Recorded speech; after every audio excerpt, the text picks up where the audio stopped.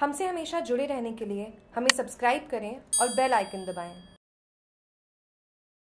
पाली ज़िले के बाली के सादावास गाँव में पाँच फीट लंबा एक मगरमच्छ गाँव के लोगों ने देखा और सरपंच को सूचना दी इस पर बाली के लोगों ने अपने स्तर पर वन्य जीव बचाने के लिए एक रेस्क्यू टीम बनाई जो सांप अजगर मगरमच्छ या कोई भी वन्य जानवर को बचाने का प्रयास करते हैं। बिना किसी शुल्क लिए वो team W S A R S rescue team नाम से जानी जाती है।